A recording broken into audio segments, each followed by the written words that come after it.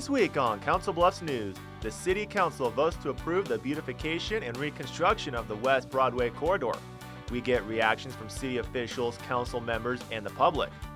Plus, it's homecoming week at Iowa Western. IWTV student Haley Hughes gives us a look at the activities, including a parade on the 100 block. Development Update Community Development Director Don Gross gives us the latest on construction progress around the downtown area of Council Bluffs. And as we near Halloween, Josh Bellows joins us in studio to talk about the screams over at Madness Haunted House. That and more all on this week's Council Bluffs News.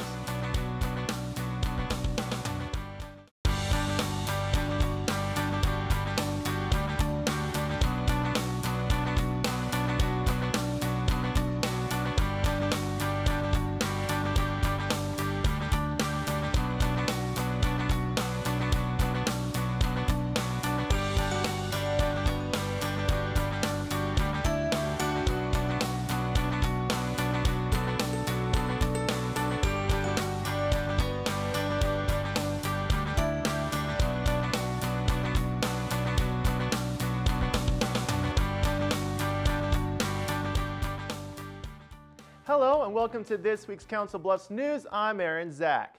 The West Broadway Corridor Project is something Council Bluffs has been wanting for years. It'll fix the sewer system that continues to get backed up during heavy rainfall, and it'll beautify the entire west end of Council Bluffs. October 10th, the City Council voted to approve the plan, and the first phases of the five-year construction project are set to begin next spring. Change is coming. It's going to really benefit the entire city, and I'm excited about it. and West Broadway is ready for a facelift. It's one of those areas that has been kind of uh, neglected, I think, for several years. City Council approved the West Broadway Corridor project October 10th. City engineer Matt Cox expects construction to begin the spring of 2017. We will construct all year long, and then we will do that for five sequential years. So phase two will start spring of 2018, spring of 19 for phase three, et cetera. So that'll get us the whole length of the project, five phases, one project per phase. The project is an extensive overhaul.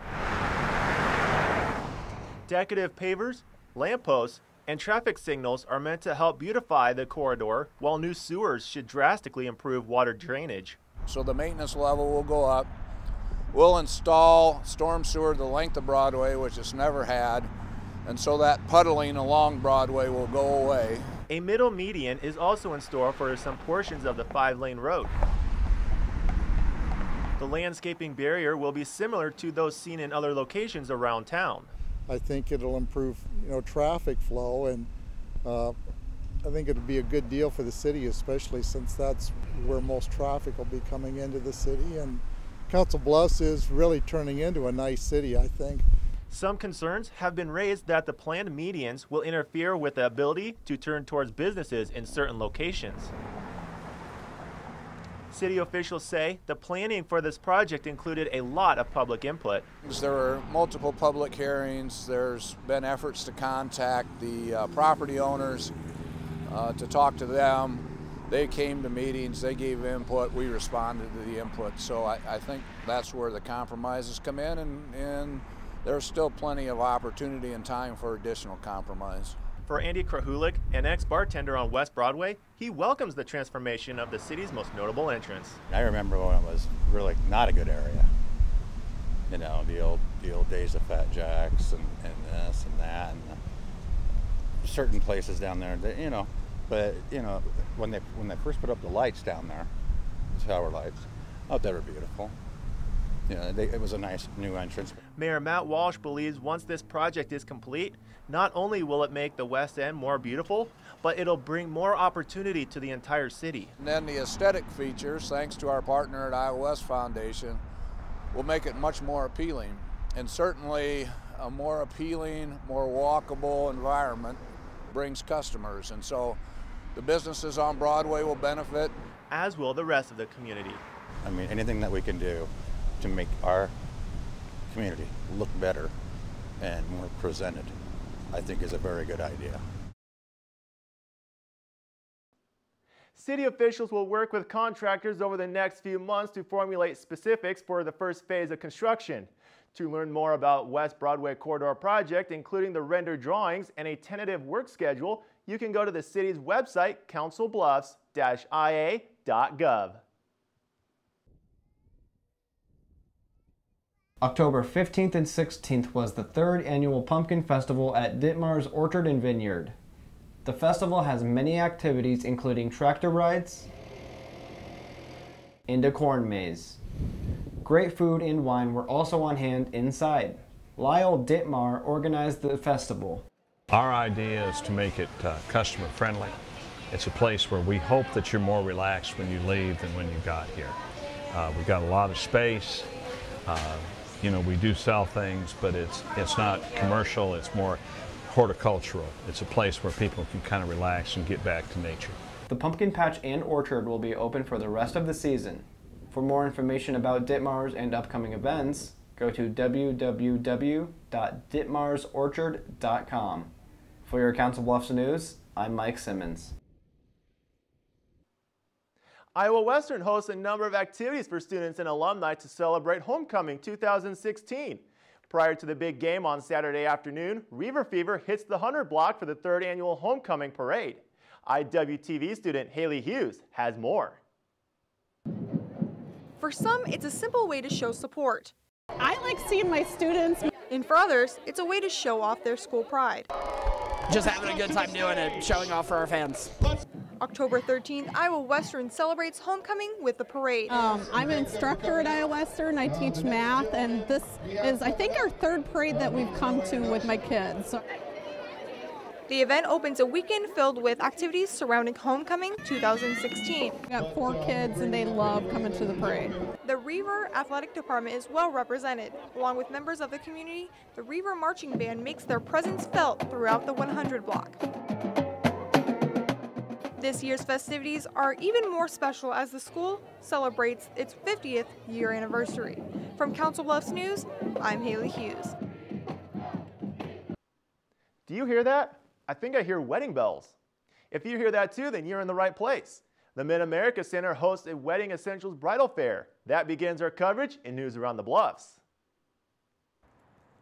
Soon to be brides and grooms come to the Mid-America Center in Council Bluffs Sunday, October 16th. Wedding Essentials of Omaha and the Omaha World Herald host a wedding idea show. People are able to look at the area vendors to see if any of them are the right fit for their future wedding. I'm hoping all the brides and grooms that are coming to the show today get some great ideas for their wedding, upcoming wedding or upcoming engagement party or um, any kind of party that they are hosting around their wedding. Um, this is what the show is truly about. We have lots of different idea displays for them to look at and touch and feel and kind of get uh, the best idea for what they want to do and get um, something hopefully that will be true to them for their wedding. The event also has an all-day fashion show with wedding dresses and tuxedos from area businesses. For more wedding ideas as well as vendors and area DJs, go to omaha.com slash wedding essentials.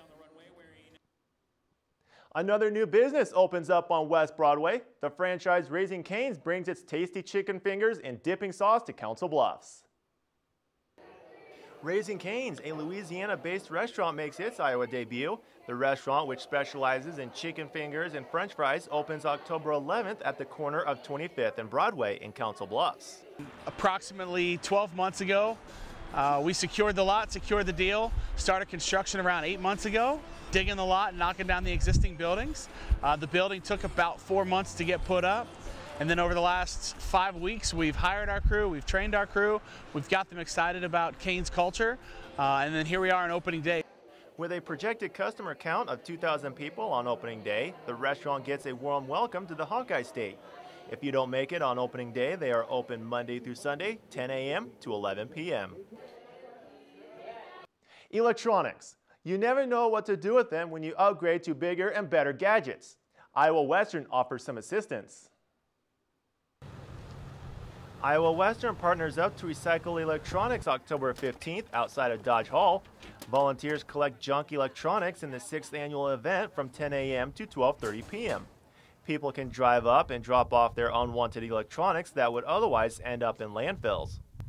While with this event, we can properly recycle them and help save the environment from all these harmful uh, additives like lead from CRTs If you missed the event and would like to recycle your electronics, head over to the Goodwill in Council Bluffs or the Council Bluffs Recycling Center. Still to come on Council Bluffs News, Development Update. We sit down with Community Development Director Don Gross to get the latest on projects around the downtown area of Council Bluffs. Plus, we'll take you on a Bluffs Artist Art Walk to see some of today's top local talent and meet this month's featured artist. But coming up next, Madness Haunted House owner Josh Bellows and a few of his frightening friends joins us in studio to get you ready for Halloween. Stay tuned.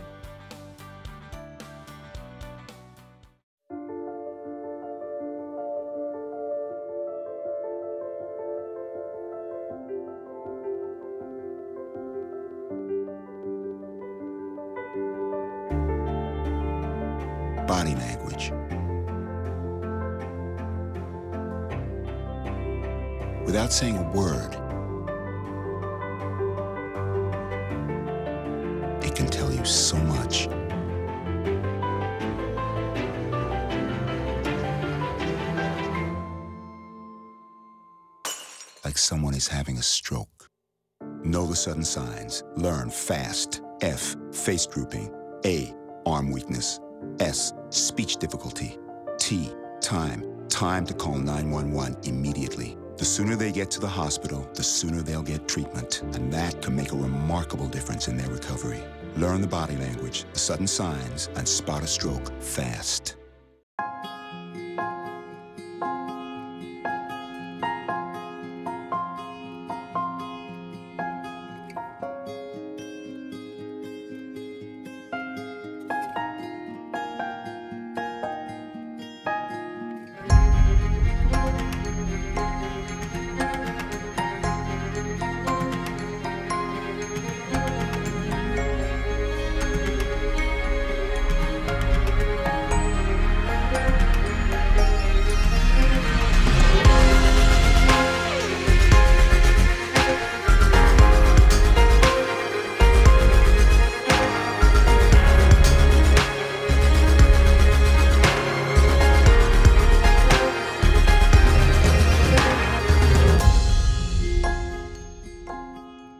Schedule your campus visit today.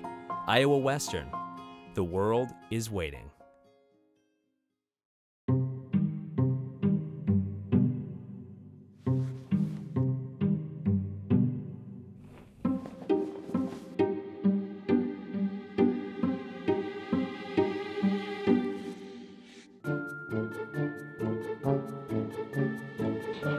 The smallest moments can have the biggest impact on a child's life. Take time to be a dad today. Welcome back to Council Bluffs News. I'm Aaron Zach. Joining me in studio today is Josh Bellows. He is the creator of Madness Haunted House, and he's here with me today. Josh, thanks for joining me today. Thanks for having me. So let's talk about the inspiration you had in getting this started. Um, myself and some friends have been doing a home haunt for about the past three years. Um, last year, we got partnered up with Karen Share House, which is a free store and food pantry here in Council Bluffs. Um, we did a pretty good uh, charity drive for those guys last year. Um, it went really, really well. We were very well received by the public. And this year, we just thought we'd take it to the next level. How long does it take to create a haunted house? Well, from, from conception to design to build, we had from August 1st. I had started looking at the location where we're at um, probably around July. Um, and then August 1st, we started building and we were building up until we opened on September 23rd. Well, speaking of that new location, you are in a new location over at the Mall of the Bluffs. Mall of the Bluffs. Uh, tell me a little bit about the popularity that you got uh, to get to that place. Well, the Mall of the Bluffs um, is just a perfect location for us. We're all, um, pretty much all of us are born and raised here in Council Bluffs, and now we're raising families in Council Bluffs. So when we were scouting for buildings, we really wanted to stay in Council Bluffs. Um, we, there was never a pro haunt over here, which a pro haunt is just a, not a backyard haunted house, is what that is. Um, but so the location was great.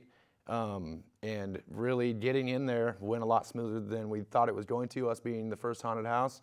Uh, but we started talking to some people, knocking on some doors, and made it happen. All right, so let's get into the GIF of things. When people show up there and they go inside, what can they expect? The theme we were going with is intensity. It kind of starts as soon as you get out of your car out there. We have some music on Friday nights, which tonight we have a uh, live DJ every Friday night. Um, we have some line actors out there. So as soon as you get out of your car, you're starting to experience what you're going to get inside. It, It's pretty intense, and uh, a lot of people really have a good time. And how much does it cost to get into your place? General admission is $12. If you bring a donation of uh, canned foods or boxed foods or clothing any night um, that we're open, uh, it's $11. It's $1 off. And then Wednesday nights we have a BOGO special, which is buy one, get one free. Uh, so those are just little incentives to get us in the door. Is there a website you can go to to find out more information? Our website is madnesshaunt.com. Um, we do most of our posting and updating on Facebook, also at Madness Haunt. Um, that's where our schedule is, and like I said, we, we keep all the fans and everybody up to date on what's going on down there. uh, Josh, thanks for joining us today. Yeah. Uh, I look forward to it. Yeah. I hope you sleep well tonight. oh, I'm going to. Council Bluffs News will be right back after this. Stay tuned.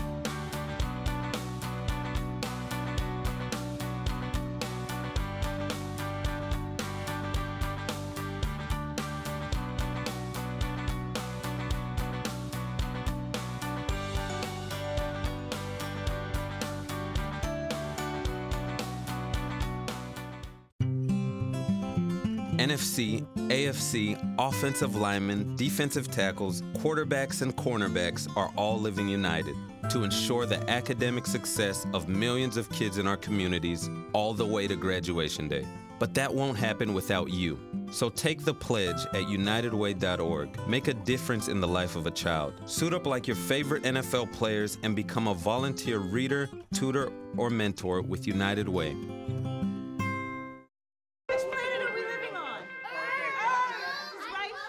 What do you think it would be like to teach? Chances are, you have no idea.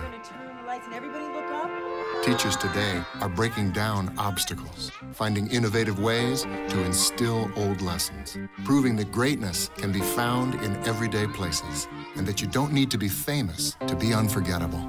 That's what it's like to teach.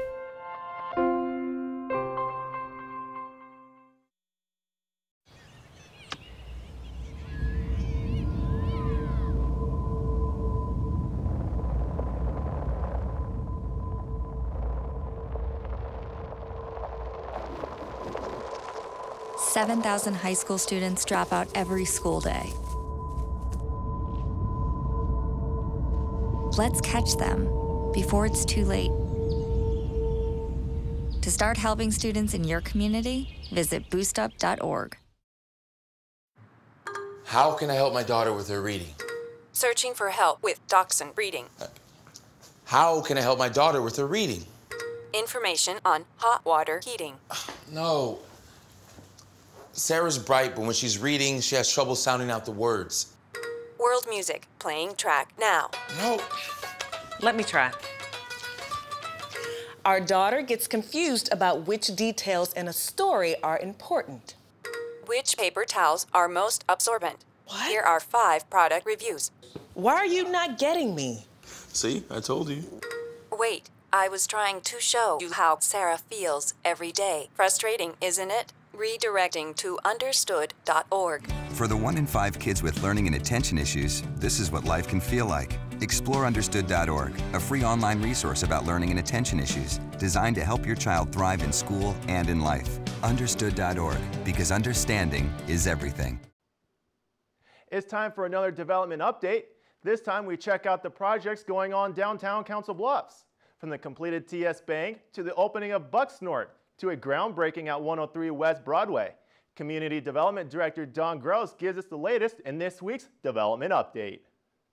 I'm Don Gross, Community Development Director for the City of Council Bluffs. Uh, downtown, uh, CTS Bank is, is finished. Uh, built a very nice building, good landscaping, a very good addition to uh, the city. Uh, TS, uh, the in that same block, I see that the old bar restaurant that was uh, is now the Bucksnort, so it's got a new operator. And I think uh, mid-October, I think they intend to have uh, groundbreaking.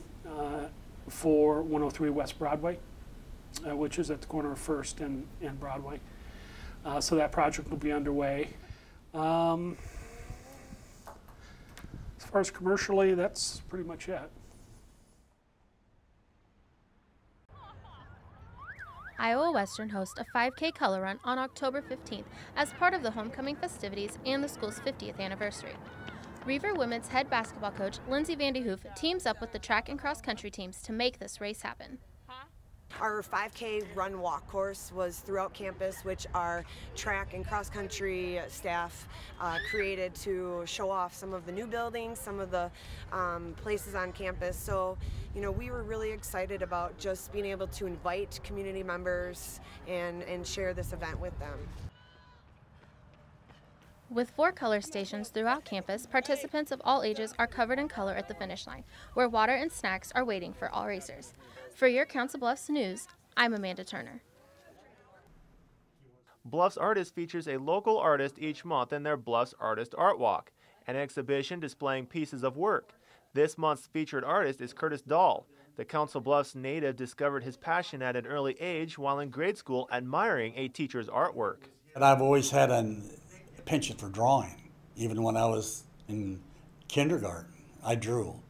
Uh, I drew anything. Sitting in church, I drew. Not listening to sermons, I drew. Uh, I was constantly drawing. Bluffs Artist Art Walk is held the second Friday of every month. If you'd like to see Curtis's artwork, visit the park building on 500 Willow Avenue. Still to come on Council Bluffs News, there are plenty of furry friends looking for a good home. We'll meet them in our Pets of the Week. And a look at our events calendar to wrap up the show. At the Council Bluffs Recycling Center, we're proud of the effort our community makes to help keep Council Bluffs beautiful by participating in our curbside recycling program. Here are some tips to make sure your recyclables are accepted. If you're confused about plastics, we can help. Numbers 1 through 5 plastic food and beverage containers are acceptable. Usually the recycling triangle and the number inside are located on the bottom of containers. Items we don't take include numbers 6 and 7 plastics, styrofoam, or bags of any sort, although we encourage recycling plastic bags inside local grocery stores. Please be sure to check the calendar in our annual mailer or on our website to find out what items will be picked up each week. Blue Week items for your curbside bin include paper, cardboard, and glass containers. Green Week items for your curbside bin include plastic food and beverage containers, tin and aluminum containers, and tin foil. Thank you for helping us keep Council Bluffs beautiful. At Council Bluffs Savings Bank, you still get personalized customer service. We have identity safe checking with LifeLock, identity theft protection. You get personal mortgage lending to fit your needs now and in the future. You get business banking with the latest technology because saving you time saves you money. At Council Bluffs Savings Bank, you get people who answer when you call and local employees who are actively involved in our community. Council Bluffs Savings Bank, hometown banking the way it used to be. Hey, I'm Anderson Cooper. As a parent, you want to make sure that your child knows how to deal with bullying when they see it happening. And chances are they want to help, but they don't really know how. Teach them that the best thing to do is calmly walk away, find a teacher or other adult, and speak up. And do your part. Be that adult they can talk to and trust will listen. Join me to help stop bullying. Go to stopbullying.gov to find out more.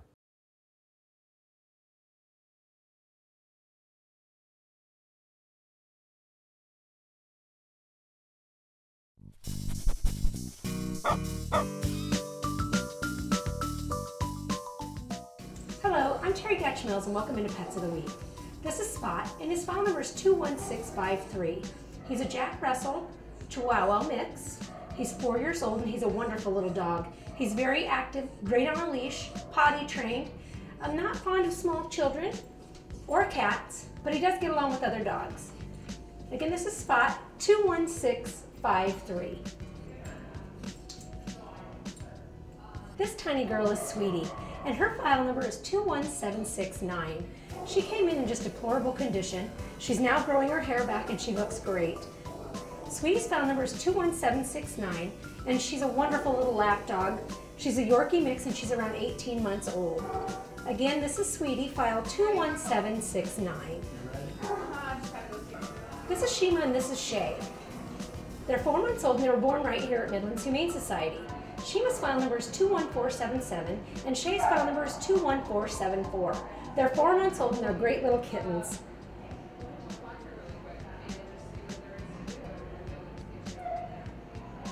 This is Pierre, and his file number is 21863. He's a little black tabby, and he's 10 weeks old, and he's a very friendly little kitten.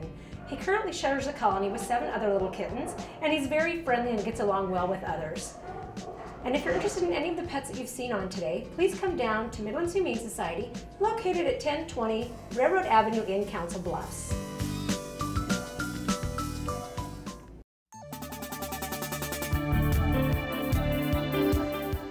Time now for our weekly events calendar. Keeping your money happy and healthy. Sounds intriguing, doesn't it? October 26th from 12:30 p.m. to 1:30 p.m., the Council Bluffs Public Library is hosting an event for everyone to learn how to keep their finances happy. The class is designed to offer tips for success, education on danger zones, and key habits that can help make your finances healthier. To learn more about the event, contact Tiffany Pinkerton at 712 325 5629 or by email at info at heartlandfamilyservice.org. Midlands Humane Society, along with Edward Subaru, is hosting its seventh annual Canines in Costumes event on Sunday, October 23rd. The event will be held in Bayless Park from 1 p.m. to 3 p.m.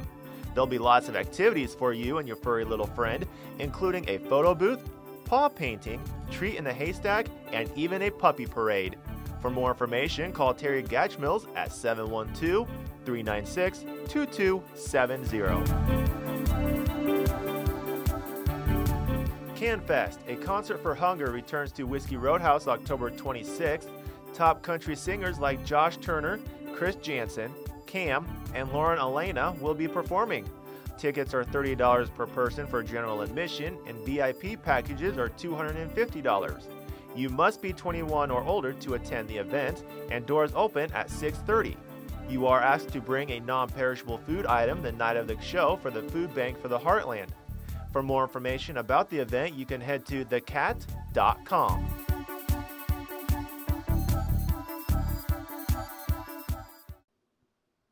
Thank you for tuning in and watching this week's Council Bluffs News. As always, CBTV is very eager to hear your feedback. If you'd like to send us your questions or comments, email them to cbtv at iwcc.edu or you can call us at 712 325 3312. Or you can find us on social media. We're on Facebook and Twitter. Just search CBTV17. And of course, keep it right here for the latest scores and updates for local sports in your community by tuning in to the Bluff Sports Zone with JJ Davis. For your Council Bluffs news, I'm Aaron Zach.